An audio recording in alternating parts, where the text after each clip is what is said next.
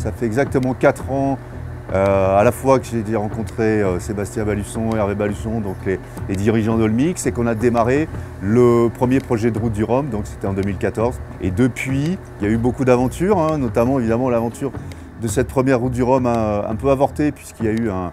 gros accident, euh, ça on s'en rappelle, même si j'ai vraiment oublié finalement et mis de côté cet élément qui est maintenant assez ancien.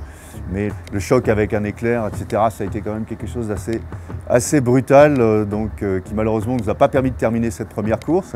Mais derrière, on a eu un soutien extraordinaire de la part d'Olmix. On a continué ensemble, on a remis le bateau euh, en état et dès le mois d'avril, le mai suivant, on était à l'eau et après on a fait toutes les courses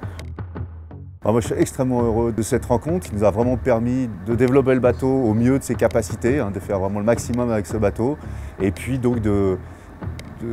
véhiculer voilà, l'image d'Olmix, l'image euh, des algues ici en Bretagne, et puis de manière plus large, puisqu'on fait des courses au niveau international. Mais je pense qu'en Bretagne, le bateau, et ça, c'était, on a eu beaucoup de retours, euh, voilà, qui nous montrent que le bateau est vraiment bien identifié, il a une superbe déco et euh, voilà, maintenant le bateau euh, Olmix est, super connu sur les, sur les côtes bretonnes et ça c'était une bonne partie de l'objectif euh, de départ.